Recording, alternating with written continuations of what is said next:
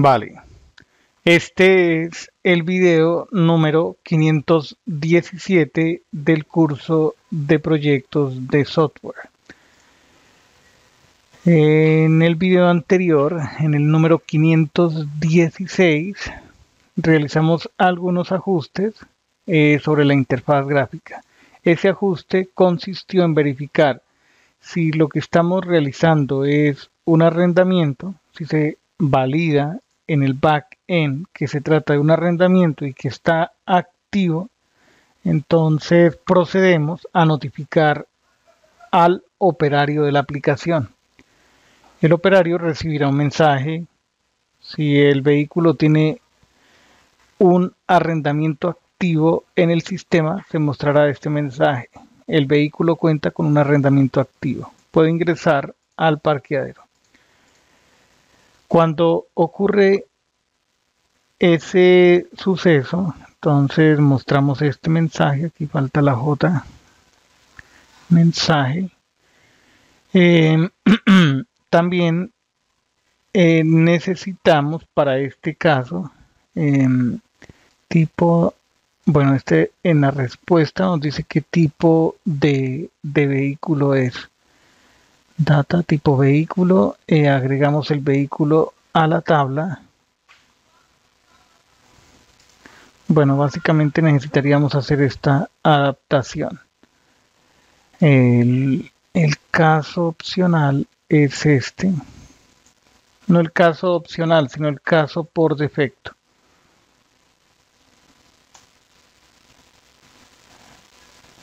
Así.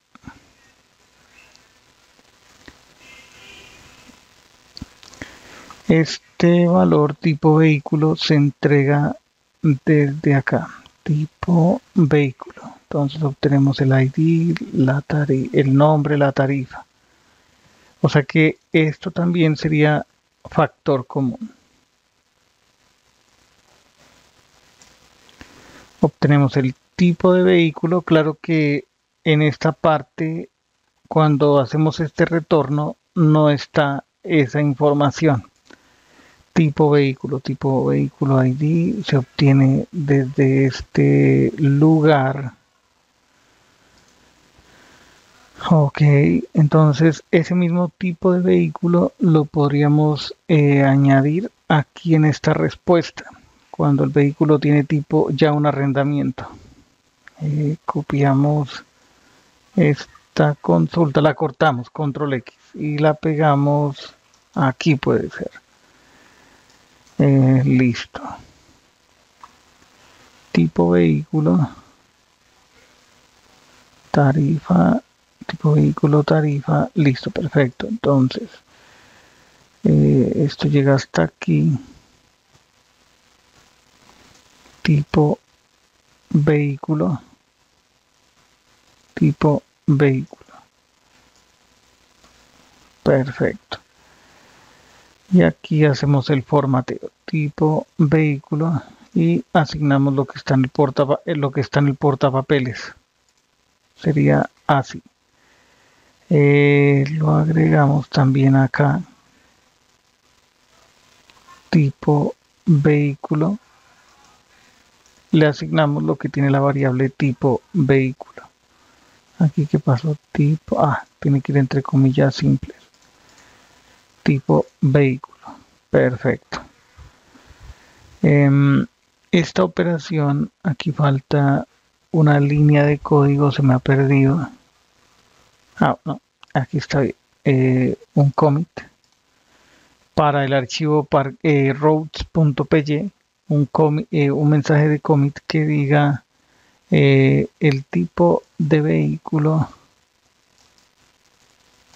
se asigna se asigna cuando exista un arrendamiento. Se asigna también cuando exista un arrendamiento para un vehículo. Listo, entonces ahí ya tendríamos esos datos. Al momento de agregar vehículo, eh, agregar vehículo a la tabla, en esta función, claro, tenemos la placa, el tipo de vehículo, la fecha de entrada, el tipo vehículo asignado. Listo, tenemos toda esa información. Sobre esta función, quiero verificar los diferentes elementos. Antes de avanzar, un commit que diga eh, ajuste de las condiciones eh, de ingreso de un vehículo al parqueadero. Parqueadero. Bueno, aquí es necesario realizar un condicionamiento porque, eh, bueno, en el caso del, del, como ella tiene tarifa asignada, eh, esto va a cambiar. Si es por arrendamiento, eh, cambiamos esta, este bloque. Cambiamos este bloque. Porque esto es cuando se ha realizado un ingreso eh, normal, sin arrendamiento. Tendríamos que colocar el, el, condicional cuando es arrendamiento. Ok, entonces, esa función se llama desde aquí, y coloquémosle un atributo es arrendamiento. Y eh, aquí le podríamos colocar con el es arrendamiento en su defecto dejamos false. False. Pero si es arrendamiento aquí le decimos es arrendamiento le asignamos el valor true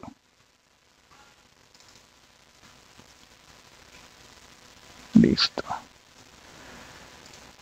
Ese, ese atributo, ese atributo lo podemos utilizar ya dentro de la función eh, agregar vehículo tabla. Listo. Listo. Entonces aquí vendría en esta columna. En esta columna podríamos preguntar. Primero, saquemos, eh, creemos una constante que se llame es arrendamiento. La obtenemos de, desde este objeto. Ese objeto se construye en la llamada de esta función. Vale, entonces, em, ¿cómo quedaría la expresión aquí? cuál número de columna es. Celda, arrendamiento o normal. Entonces, si es arrendamiento, escribimos, a ver, si no es, si es arrendamiento, hacemos cierta operación, si no, otra. Y es aquí donde se escribe esta expresión.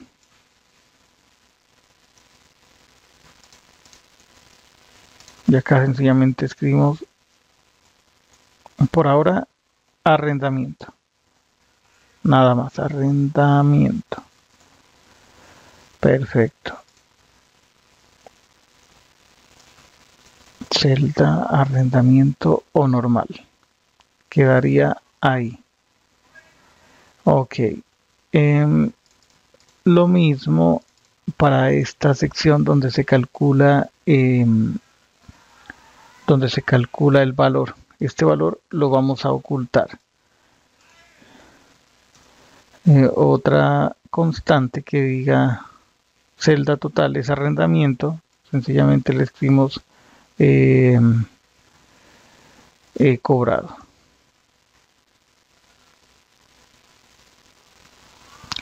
o dejamos a ver esta esta sería la celda.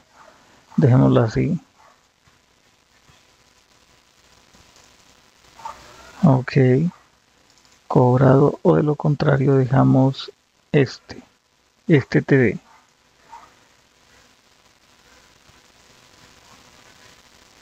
aquí sería de esta manera. Así. Y std lo dejamos así celda total.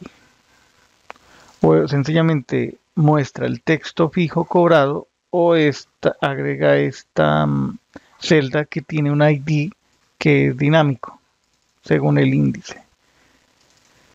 Perfecto. Y este set interval lo llamaremos si no es arrendamiento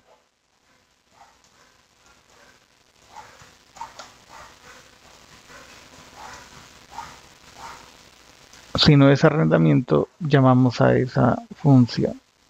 Falta borrar aquí esto. Creo que ya. Si no es un arrendamiento entonces realiza el conteo para el cobro. Un commit que diga em, la agregación de la tabla es condicionada si se trata de un arrendamiento. Si el ingreso, si, el ingreso del vehículo eh, es un arrendamiento. Ok. Bueno, entonces esos cambios los podemos subir al repositorio remoto. Ahí hacemos la subida. Y ya continuaremos en el siguiente video. Adiós